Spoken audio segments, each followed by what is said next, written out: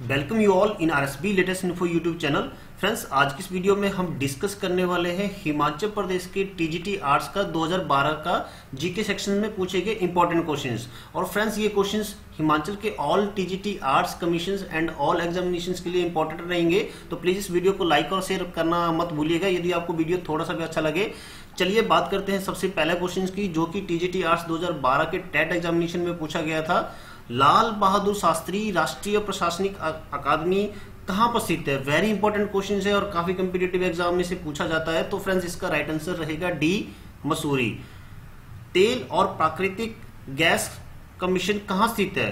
Very important question तो इसका answer रहेगा B option Dehradun is the right answer ठीक है फ्रेंड्स नेक्स्ट क्वेश्चन है, असम की प्रसिद्ध अभ्यारण कांजीरंगा किसके लिए प्रसिद्ध है? वेरी इंपॉर्टेंट क्वेश्चन है और मैक्सिमम एग्जामिनेशन में क्वेश्चन को पूछा जाता है तो इसका राइट आंसर रहेगा। A option rhino is the right answer ठीक है फ्रेंड्स चलते हैं नेक्स्ट क्वेश्चन की तरफ़। रेगिस्तान जंगलों के पौधों की पत्तियाँ होती हैं तो फ्रेंड्स इसका राइट आंसर रहेगा। बी ऑप्शन छोटा आकार और कांटेदार इज़ द राइट आंसर ठीक है फ्रेंड्स नेक्स्ट क्वेश्चन है भारत में पुरुषों की अपेक्षा स्त्रियाँ अधिक दिखाने वाला एकमात्र राज्य कौन है? वेरी इंपॉर्टेंट क्वेश्चन है। तो friends A is the right answer Kerala Bharat में रुई मिलों की सबसे अधिक संख्या कहाँ पर स्थित है? तो फ्रेंड्स राइट आंसर रहेगा ए ऑप्शन अहमदाबाद में। अहमदाबाद यानी कि गुजरात के अंदर।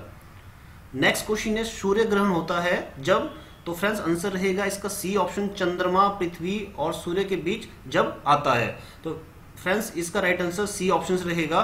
और फ्रेंड्स आगे बढ़ने से पहले मैं ये बताना चाहूँगा कि प्लीज़ वीडियो को लाइक शेयर और कमेंट करना मत भूलिएगा, क्योंकि आज से हम जो है एक सेशन तैयार कर रहे हैं, जहाँ पे हम मैक्सिमम प्रीवियस कम्पिटेटिव एग्ज़ाम में जो भी जितने भी टैट में क्वेश्चन पूछे गए थे दस से बारह सालों में, पहले हम टीजीटी आर्ट्स का कवर करेंगे, फिर धीरे धीरे बाकी LT and JBT and what जो भी सारे कोर्सेज एस टैट में है तो उनका सारे प्रीवियस एग्ज़ाम के क्वेश्चन पेपर हम कवर करने वाले हैं, जो कि आपके आने वाले competitive exam point of view से बहुत ही ज़्यादा इंपॉर्टेंट होने वाले हैं। और साथ में आप भी सजेस्ट करिएगा कि आ, हम अपनी वीडियो में किस तरह से इंप्रूवमेंट करें ताकि आप हम आने वाली वीडियो में वो चीज़ हम इंप्लीमेंट करते रहें। चलिए ज़्यादा बातें ना करते हुए नेक्स्ट क्वेश्चन की तरफ़ चलते हैं।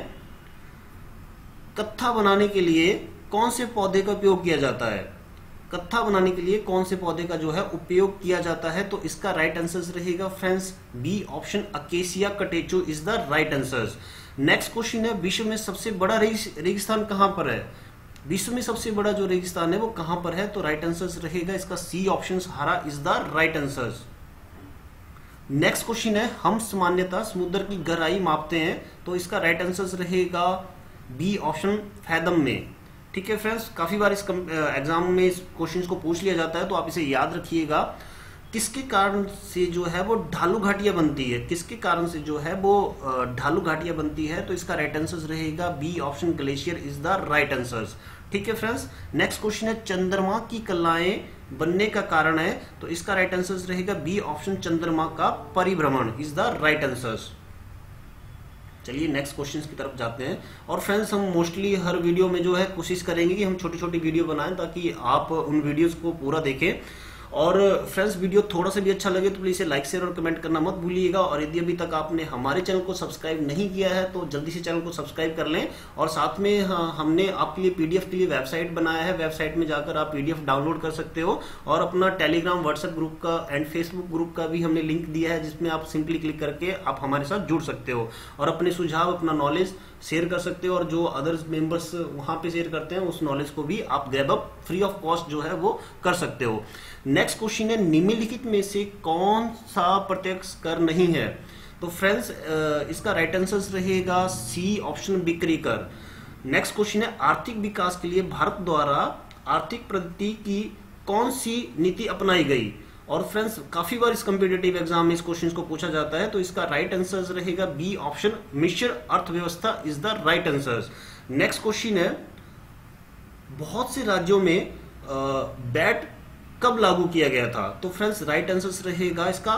फ़र्स्ट अप्रैल 2005 के अंदर जो है मैक्सिमम राज्यों में जो है, वो बैट लागू किया गया था इंडिया के अंदर। ठीक है फ्रेंड्स नेक्स्ट क्वेश्चन है, कौन से बाज़ार में एक पीढ़ी कीमत निर्धारित नहीं कर सकती है? तो फ्रेंड्स इसका राइट आंसर रहेगा ए ऑप्शन पूर्ण प्रतिस्पर्धा is the right answer next question है, पूर्ण प्रतिस्पर्धा के अंतर्गत एक पीढ़ी का मांग चक्कर होता है तो इसका राइट आंसर रहेगा बी ऑप्शन पूर्णता लोचनीय is the right answer next question है, प्रत्येक उत्पादन करने वाली पीढ़ी का उद्देश्य है लाभ अधिकतम करना. इज़ द राइट आंसर यानी कि इसका जो है वो सी ऑप्शन सही रहेगा.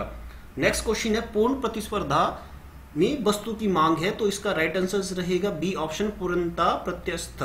इज़ द राइट आंसर माफ़ी चाहूँगा थोड़ा कम प्रोनाउंसिएशन के लिए तो थोड़ी हिंदी में थोड़ा दिक्कत है.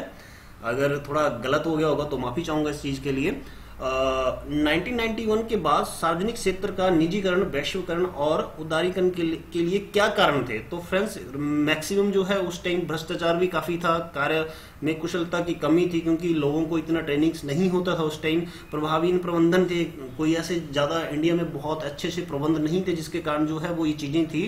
तो इस आंसर का जो है वो राइट आंसर रहेगा। तीनों ए बी सी रहेगा। यानी कि D option is the right answer उपरोक्त सभी is the right answer next question है, भारत में राष्ट्रीय आय का सबसे बड़ा स्रोत क्या है? भारत में राष्ट्रीय आय का सबसे बड़ा स्रोत जो है, वो क्या है? तो राइट आंसर रहेगा सी ऑप्शन सेवा कर is the right answer next question है फ्रेंड्स भारत में माल की कीमतों में परिवर्तन निम्नलिखित में से कौन से निर्देशांक द्वारा जो है वो मापा जाता है? भारत में माल की कीमतों में परिवर्तन निम्नलिखित में से कौन से निर्देशांक द्वारा जो है वो मापा जाता है?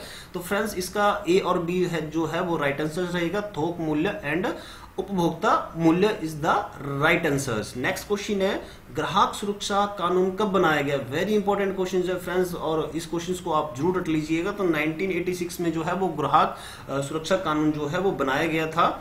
नेक्स्ट क्वेश्चन है फ्रेंड्स खुजराहो के विशाल मंदिर किस शासकों द्वारा जो है, वो निर्मित किए गए थे? तो फ्रेंड्स इसका राइट आंसर रहेगा सी ऑप्शन बुलेनखंड के चंदेल के द्वारा जो है, वो खुजराहो के विशाल मंदिर। जो है वो निर्मित किए गए थे। नेक्स्ट क्वेश्चन है, राजस्थान में सिंधु घा सिंधु घाटी सभ्यता के अवशेष पाए गए थे तो इसका राइट आंसर रहेगा बी ऑप्शन कालीबंगा शेष जो है वो सिंधु घाटी के सभ्यता के अवशेष जो है वो पाए गए थे। नेक्स्ट क्वेश्चन है, भारत में सर्वप्रथम समाचार पत्र जो है वो प्रकाशित हुआ था।